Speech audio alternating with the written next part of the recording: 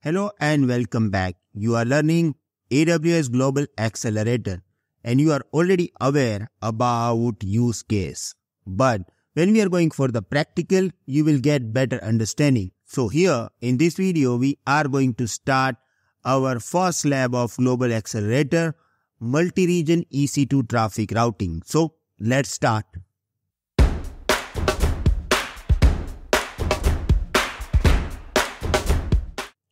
As always, we are going to complete all these steps in this video, but we are going to start with step number one. It is introduction of lab.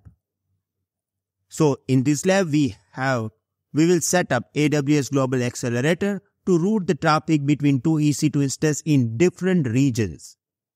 Keep this in mind that here we are going to use global accelerator. We are not going to use normal load balancer because if you have multiple EC2 instances into the multiple availability zone into the same region, then you can use load balancer. But here we have two different regions like uh, Mumbai and, and Virginia. We have two different web servers inside this region and we are going to load balance traffic between them.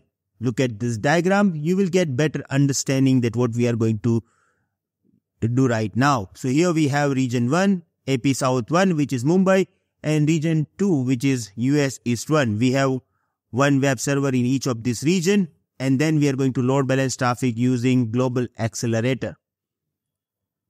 This will ensure that users are directed to the nearest server based on their location, improving performance and availability. We will configure each EC2 instance to show region-specific content demonstrating global traffic routing in action. So here, when we have all this configured when the user is going to open website. Let's say that there is a one user who is actually from USA when this user is going to open website using global accelerator URL or IP address this user will be redirected to the US web server because this user is actually from US if I have one user from US, India when user will open this website using global accelerator URL this user will be redirected to the India because the location of the user is in India, so he or she will get low latency access.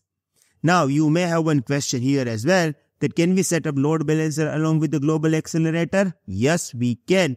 But for this, we will go for the next lab. So in this lab, this is just our first lab about global accelerator. So we are going to make things easy. In the next step, definitely we will go for the advanced setup like setting up a load balancer and then set up global accelerator.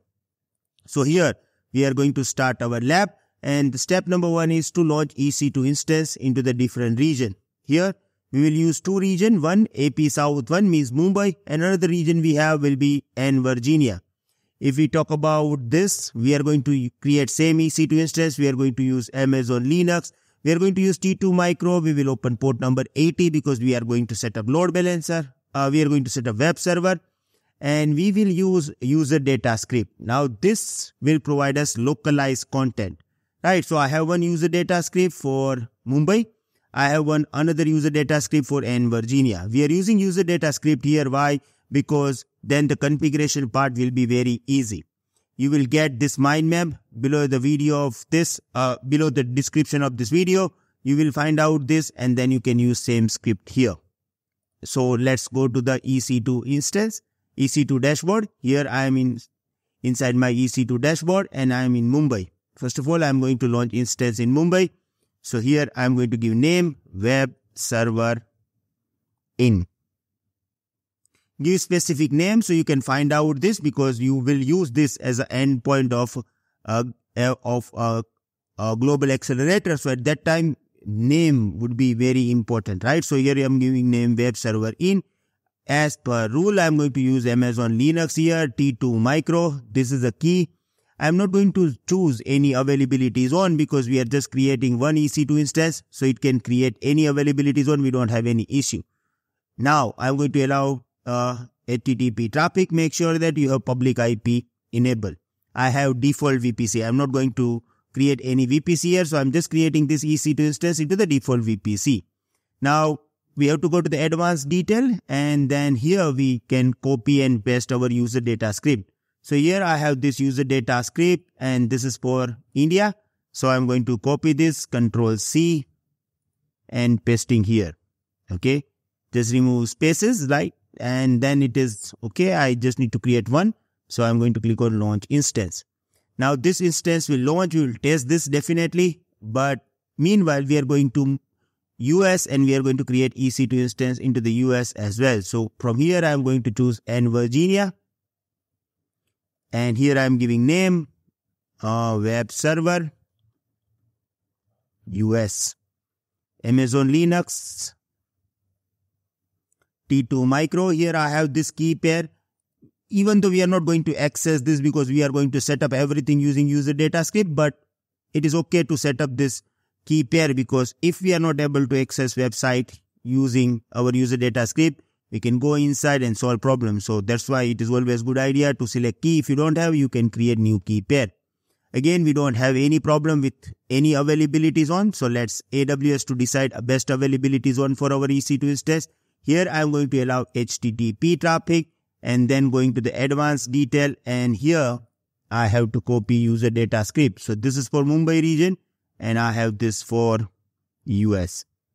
From the description of this video, you will get this user data script. Even you will get this mind map. So you just need to use this. Okay.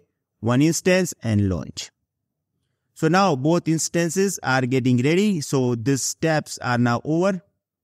So now we are going to test this. Okay. So test EC2 instance. Now testing is very easy. We just need to use public IP address and we need to open website. Okay. So let's go to the Mumbai.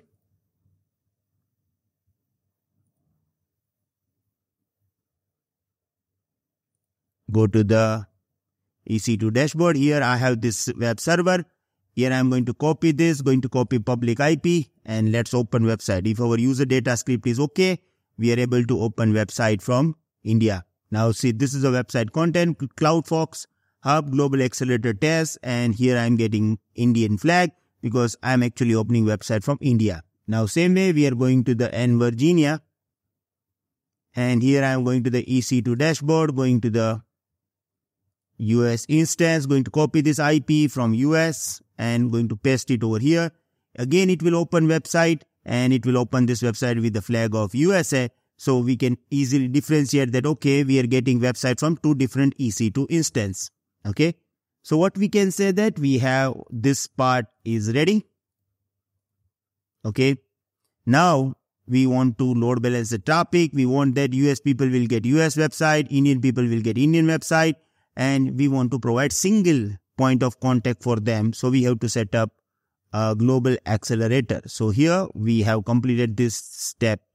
Now we are going for the create global accelerator. So first go to global accelerator and then we need to create this. Okay. Let me explain you this step practically. So here I am going to start open this service global accelerator. Now keep this in mind. It is not a normal load balancer. If we are creating elastic load balancer like application load balancer or network load balancer, we are always creating this inside region. We have to create this into the specific subnet. Here, global accelerator is a global service. So we do not need to select any region. While we are talking about elastic load balancer, these are actually related to the specific region. Global accelerator is not bound to any particular region. Okay.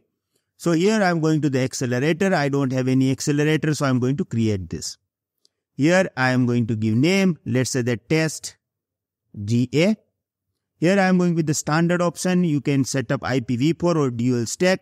Dual stack means you have target with IP version 4 and 6, but we are going with the IPv4 only. If you will set up dual stack, you will also get a IPv6 address of your global accelerator. But we are going with the IPv4 because this is our first lab of global accelerator. So let's click on next. Now, once you complete this, the next step is to set up listener. Listener means when we want to, which kind of request our global accelerator will accept. So we have website and web server and we want to load balance traffic among them. So we are going to use TCP port number 80. So 80 and here we have two protocols UDP or TCP.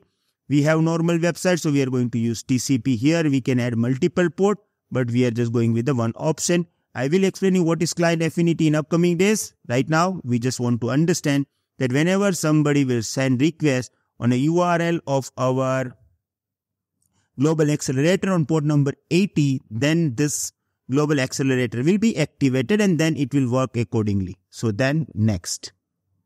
Now once you complete this, our listener is configured. Now we have to set up listener endpoint group. Now when we are going to set up listener endpoint group, we have to understand our scenario. So add endpoint group.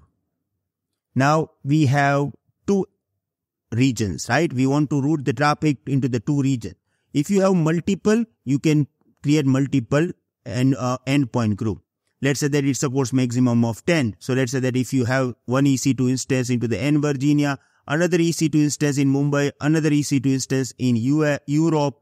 So you have, you are going to use three regions. So you have to create three endpoint group. So how many regions you are going to use according to this, you have to create endpoint group. Once you create endpoint group, okay, uh, while you are creating endpoint group, you have to select region. Then we have to add endpoints. Here we are going to use EC2 instance and we have to set up dial. Let's do this practically. You will get better understanding about it. Okay. So here I am going to use or add first endpoint group because in our lab we have two regions we are going to use. So we need to create two endpoint group. So here I am going to choose first US East 1. Now traffic dial is 100% means I want to load, like I don't want to divide traffic. If the traffic is coming from US, forward it to the US. If traffic is coming to India, then forward it to the Indian people, like to the Indian target. Here, you can set up traffic, uh, you can divide the traffic as well. You can say that, okay, whatever the traffic that I'm getting, if I'm getting 100 requests, I want to send 50% traffic to the to this region and 50% traffic to another India region. So by setting up the dial, actually you are setting up the percentage of traffic that you need to forward. In some case, if you have failover scenario, you can also set up uh, 100% traffic to the specific region and if this region goes down, then you will forward it to the another region. If you have blue-green deployment, you can set up that, okay, out of 80% traffic, send it to the US, 20% traffic will forward it to the India, and then slowly you are actually increasing the portion of India. So it is up to you. Right now we are just going with the default option. So we are going to set up uh, traffic dial 100%, right? Because uh, we just want to verify how the things are actually working, right? So I just added one endpoint group for US, then another endpoint that I'm going to add, which is for Mumbai. And right now I'm just going to say that uh, traffic dial is 100%. Okay. Even though we have 100% for both, what will happen? It will only redirect the traffic based on the source of the user. If you are from India, you will be redirected to the India. If you are from US, you will redirect to the US. Now we just need to add two endpoints, uh, endpoint group we have added here. And now in the, each endpoint, we have to add endpoint target. So here, endpoint US East 1, I'm going to add endpoint. You can add endpoint like application load balancer, network load balancer, EC2 instance, and elastic IP. Right now, we are going to use EC2 instance. In upcoming video, we will discuss about application load balancer. We can add application load balancer as well, but we will discuss about it, right? So here I'm going to use EC2 instance. Now, once you select EC2 instance, you will get list of all the EC2 instances that you have inside your US region. And we have only one web server US. So I'm just going to select this. We don't have multiple EC2 instances here in the US. So weight is all okay because we have only one. We are just going with the default option. Let's say that if you have multiple and then you want to load balance between them, you can also specify weight here. But we have only one. So no need to worry. We can go with the 128. Then here we have AP South 1, I'm going to add one endpoint here as well. So here EC2 and one EC2 instance here we have, which is having a name web server in. You can add multiple endpoint for a specific end group, but we have only one EC2 instances for each uh, region. So we are just going to add one, right? So this is done. Let's click on create global accelerator. Now, once you click on create global accelerator, it will work properly and it will take some time to create. Look at this here. I am getting status enable. I also got IP address and here it is a DNS name. You can try to open website using this DNS name. If you are able to open this, okay, you can continue. If you are not able to open this, no need to worry. You need to wait for five to six minutes. Just wait for it and then you will able to open website. So I am also waiting. When I am able to open website, I will come back. Sorry, sorry, I know that you want to watch full video, but full video is now not available on YouTube. If you want to watch full video, I want you to go to our website. When you will go to our website, you will find out our course 100 Days YouTube Challenge. I want you to enroll for this course by paying only 499 rupees for lifetime if you are from India. If you are from outside of India, you just need to pay 7 US dollar. Once you will enroll to this course, you are going to get all full videos over there on our portal. You are also going to get certificate after completing the course and we have just uploaded 120 videos. We are going to upload another 120 videos as well. So there will be total 240 videos. I hope we are going to meet inside the class. Thank you very much.